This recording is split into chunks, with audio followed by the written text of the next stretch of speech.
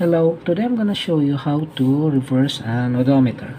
Now odometers are, now this is a mechanical odo, uh, speedometer with an odometer attached. As you can see, it cannot be moved. But if you look at this, there's actually a blue indicator here, blue colored gears that is connected to the odometer. I already loosened this ahead of time remove the bracket and disconnect this part here which is connected which is fixed to the uh, now this gear drives this gear so now it's freely moving. You can now reverse your odometer to whatever you like